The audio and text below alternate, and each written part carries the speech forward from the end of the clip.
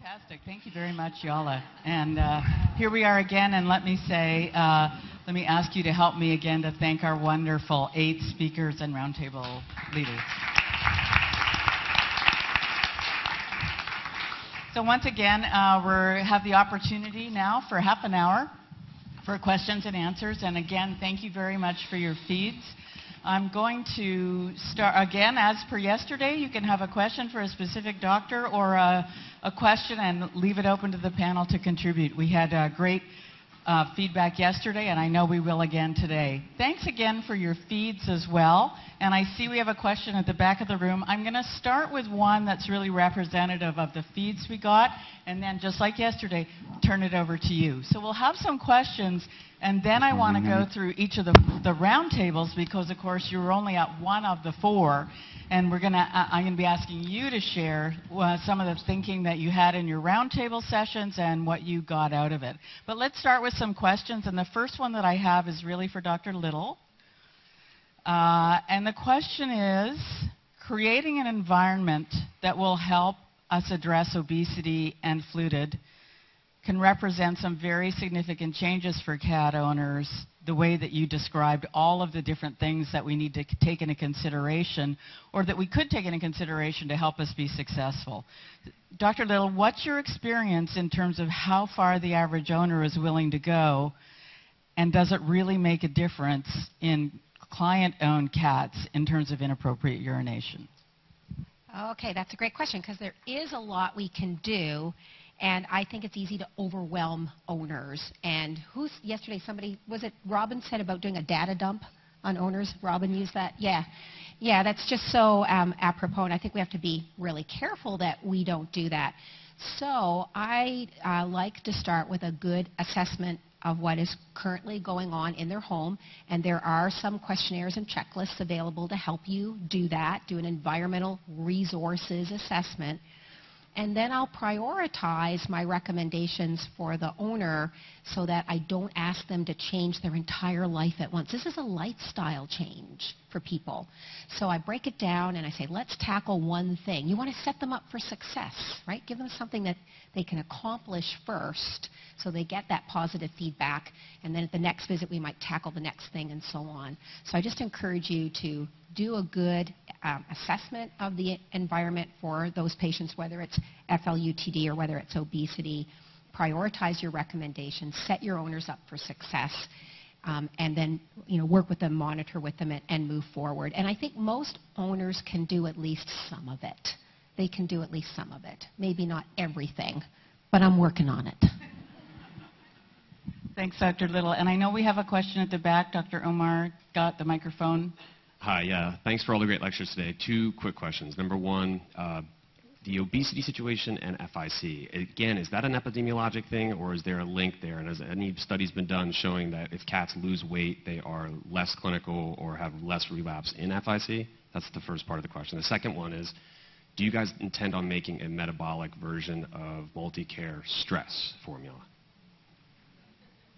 So we'll go with the first question first, which is epidemiology surrounding obesity and FLUTD. Who, Iveta?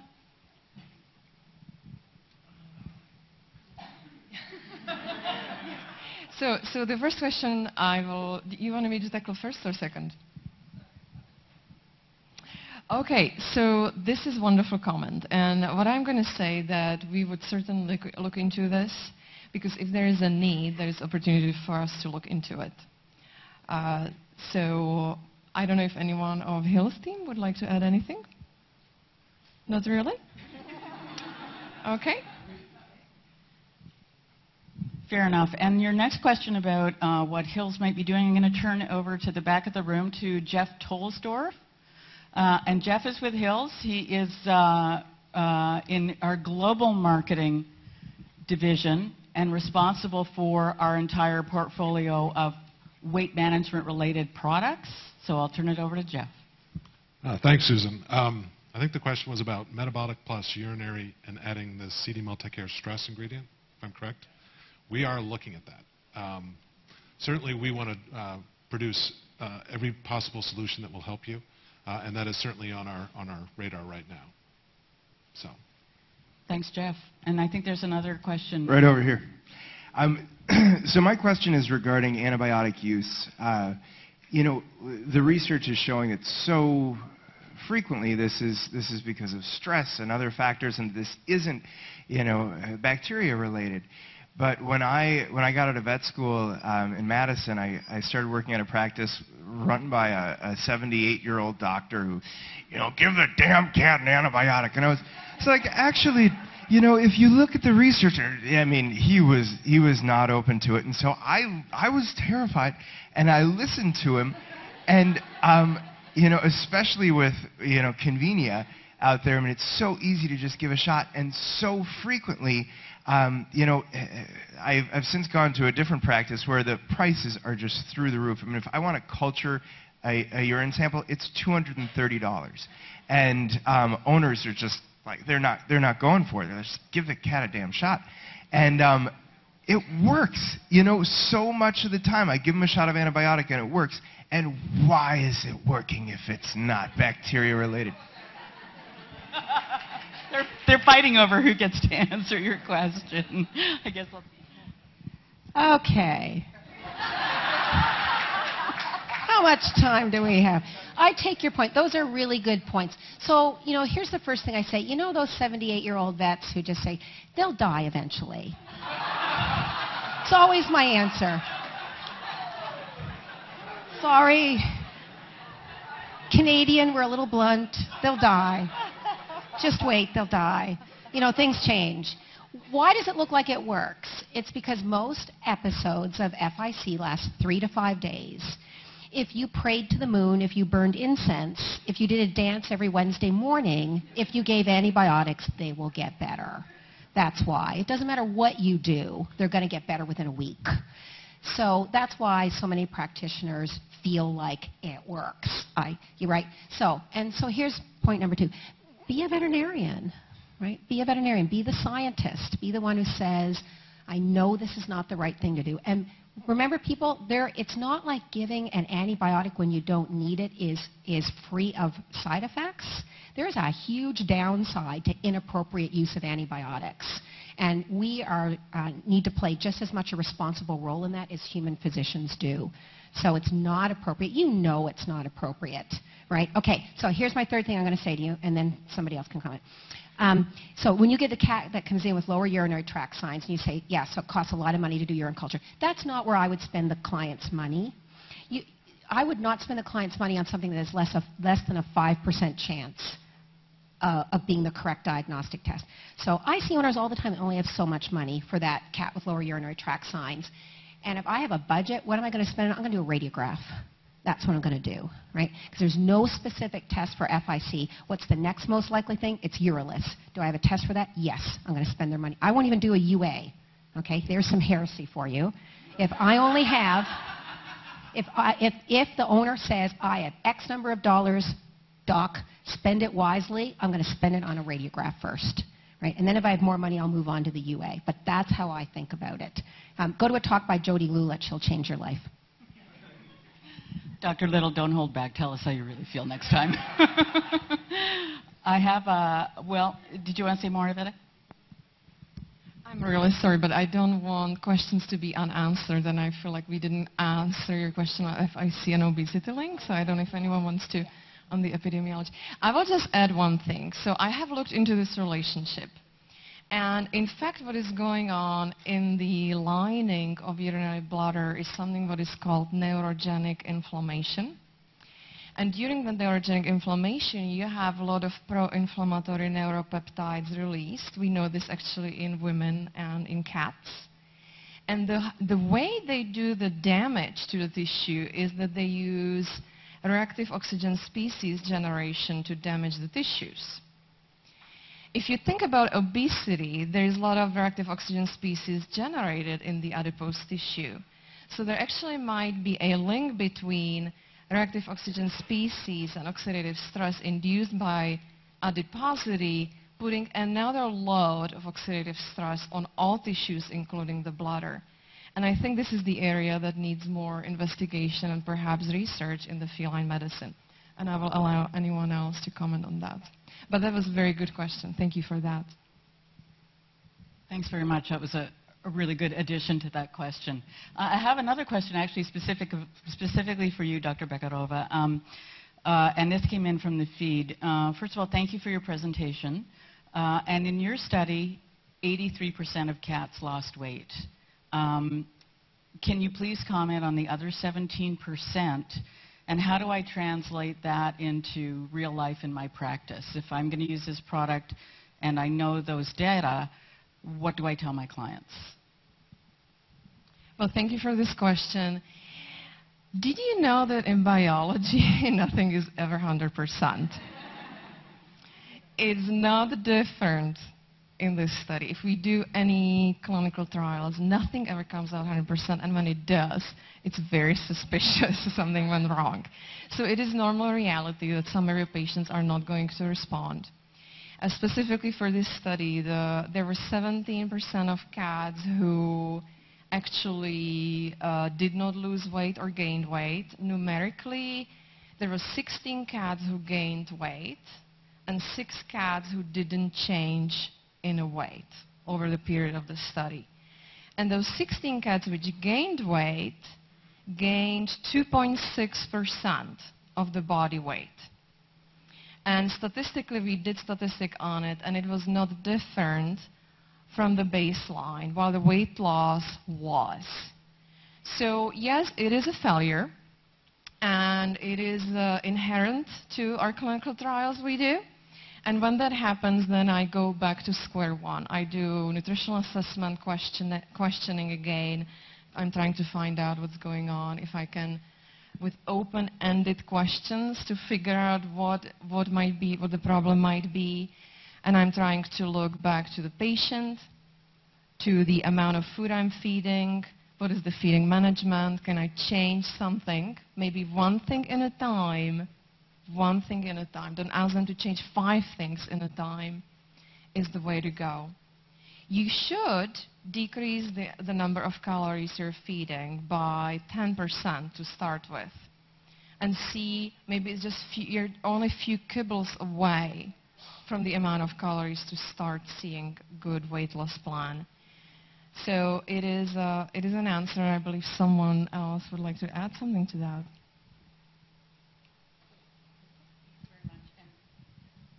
Dr. Brady just has an additional comment, and then we're going to go on. I want to make sure we have time for you to share your experiences in the breakout.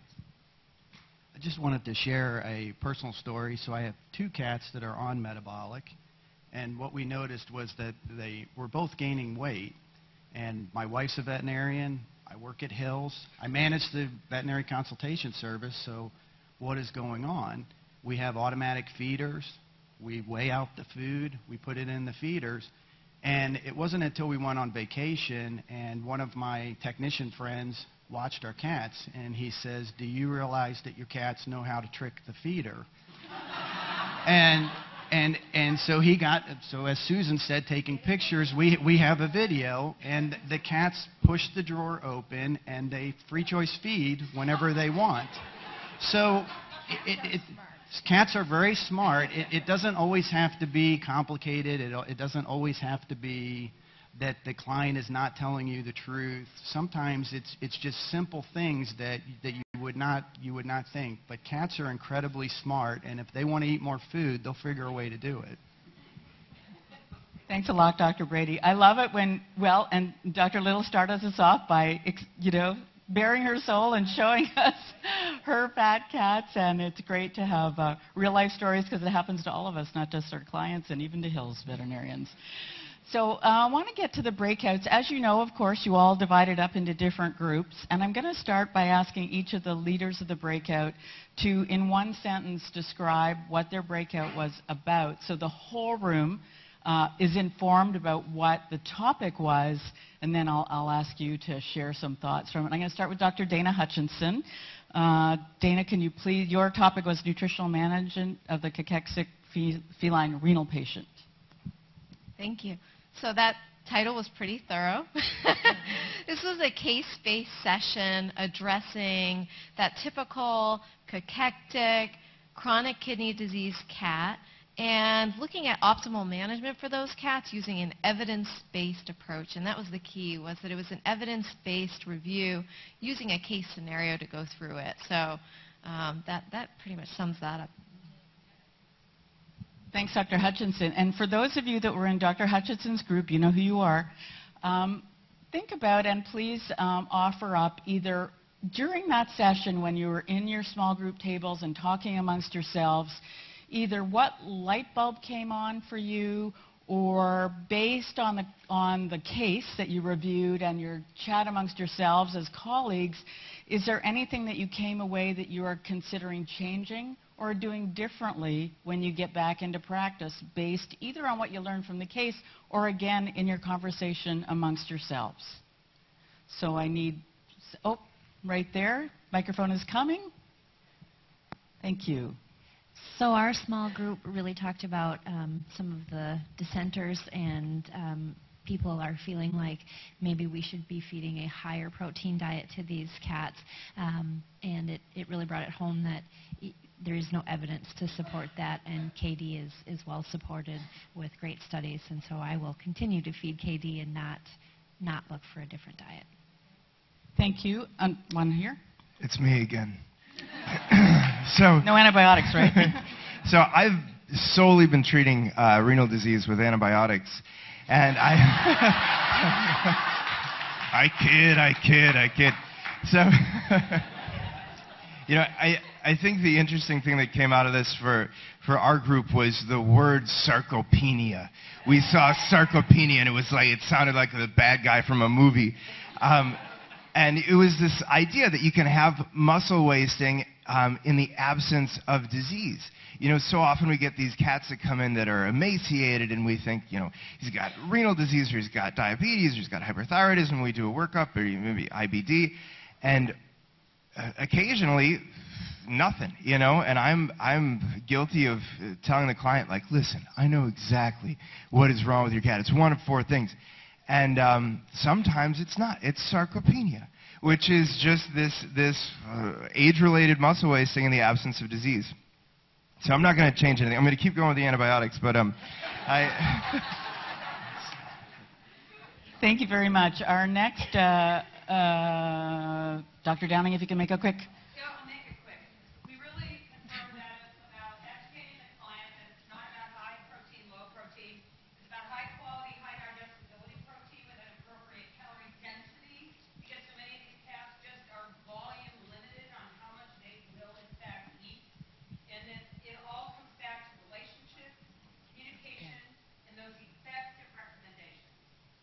Well worth it. Thank you, Dr. Downing.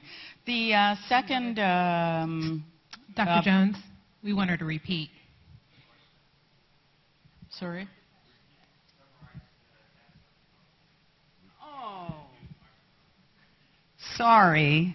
I tried to make it quick, really, Dr. Jones, I did. In our group, what we, what we really concluded was that this whole high protein, low protein thing is a moot point, that it's our obligation to step up, be the doctor, and educate our clients that it's about high digestibility protein, high quality protein, what is bioavailable to the pet, that we need to remember that we need a higher caloric density because many of these cats are volume limited as to how much they will eat. And that what does that do? That drills us back to be a doctor, make a prescription, communicate effectively with the client, make an effective recommendation, and provide um, appropriate and effective education of that client to help them sort through the hoo-ha that's out there with uh, marketing pieces that mean nothing when what we really need to do is follow the data. Thank you. Thank you. Well worth repeating, and I'm glad you pointed that out so we could make sure everybody had a chance to hear. Another breakout session that we had was led by Dr. Paul Cleland, and the topic was nutrition for managing atopic dermatitis. Dr. Cleland, can you tell us a little bit about your session? Certainly you spent the entire symposium having us tell you things. And so my breakout session was having you tell us things. And we had a wonderful discussion and great feedback on what you desire when it comes to nutrition for atopic dermatitis. Thank you very much, Dr. Cleland. And so for those of you that were working with Dr. Cleland and, and putting forward your ideas, let me know, what were some of the hot buttons? What did you have to say about what you need for atopic dermatitis? Whatever comes to mind from being in that session. Help us understand some of the conversation that went on. One there and then one here. Thank you, Bianca. Um, one of the things um, that was touched upon is how helpful um, the not necessarily just going straight to um, the dermatologic diets, DD or ZD, but when you have mild or moderate atopic dermatitis, how much just a really good nutrition that has um, loads of omega fatty acids and other sort of skin support um, can help with those patients.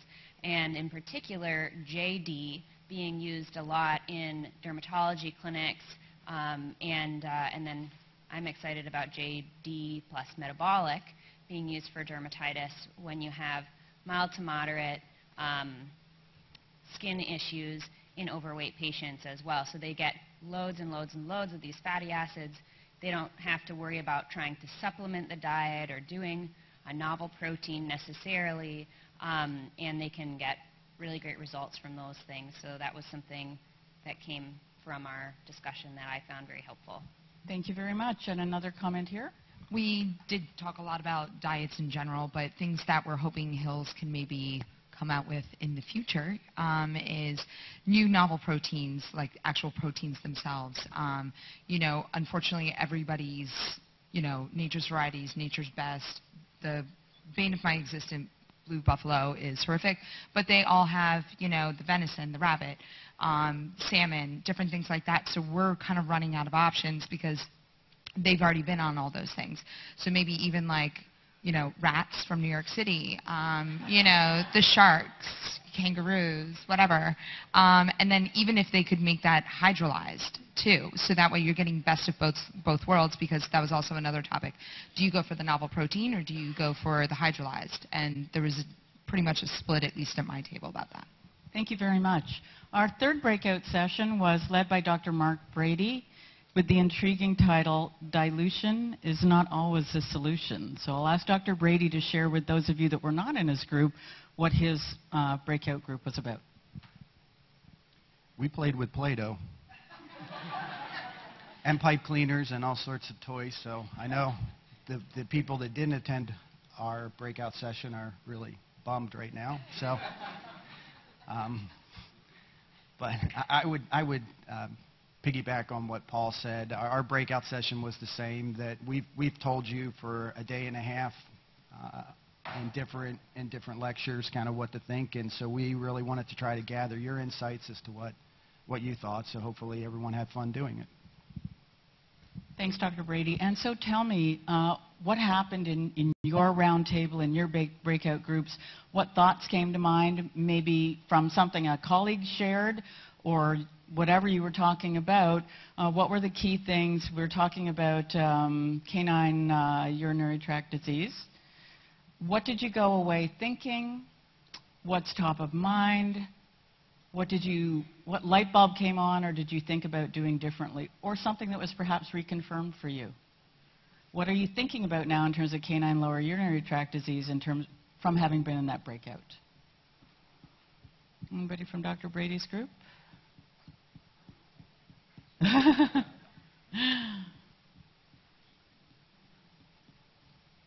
Any thoughts about anything that was new for you or reconfirmed for you?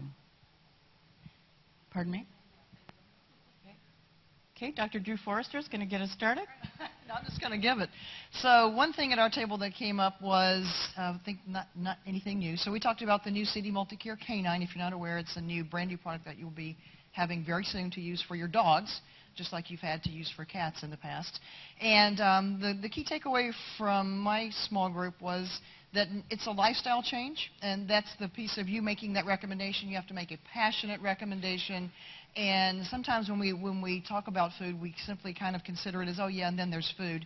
Food needs to be critical, central. It's a very important part of your recommendation for your patients. So always think about food, and it's it's really a culture change, and that's what came out from my group.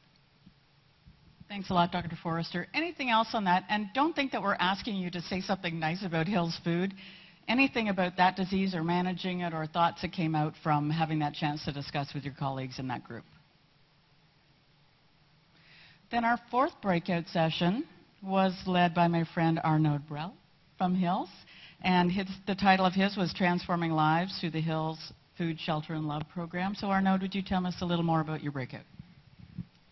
Good morning, everybody. Um, I am Arnaud Brel, and um, I am the Associate Director for Science Diet Marketing. And um, we were extremely fortunate to have three very experienced uh, shelter veterinarians with us uh, today uh, from two of the leading shelters um, in the country. Uh, from Denver Dumb Friends League, we had uh, Dr. Casey Carter, and from uh, San Diego Humane Society, we had Dr. Cindy Mitchell and Dr. Leslie Sklina. And um, basically, they, they really shared with us how every day um, veterinarians and shelters work together to transform the lives uh, of homeless pets. And um, we, we, got some really great insights um, on, for instance, on the internship opportunities that now exist for, you know, um, veterinary college students uh, with um, shelters. Um, some great insights on um, how San Diego now is able to save over 1,800 kitten lives every year that would have had such, you know, negative prospects some years ago. So it was very, um, you know, very exciting to hear that. And um, I would say this is why as well at Hills we, we really feel that the Hills Food Shelter and Love um, is really a great fit with what veterinarians and shelters do every day to transform these lives. Thanks very much, Arnaud. And this topic, of course, was different than the others in that we're not, we weren't focusing on some disease condition and some Hills product. I'm interested for those of you that attended, and it was great that we had those guests there. What kind of thoughts came to mind for you? What occurred to you that maybe you haven't thought about before, or um, just what uh, what's top of mind for you, having had that experience? Thanks. I didn't actually attend the session, but I've been hanging out with the shelter vets this weekend, and I just think it would be great if Hills publicized this program more, because I personally just know about the Purina feeding program from their mass media and the cute puppy faces behind the kennel doors. And this is something that would really benefit Hills to publicize because everybody thinks of Hills as the corn food, and this would be something that is just publicly gets your name out there and has a better perspective. So just a recommendation. Thank you very much. We really appreciate your feedback and your recommendation. Any other thoughts that you had about, about that or in that session, and doesn't have to be again about Hills or their program, any thoughts that you want to share that, that you had personally about as veterinarians and animal lovers that are here to transform lives? Any thoughts that you want to share? Yes, thank you. Thank you.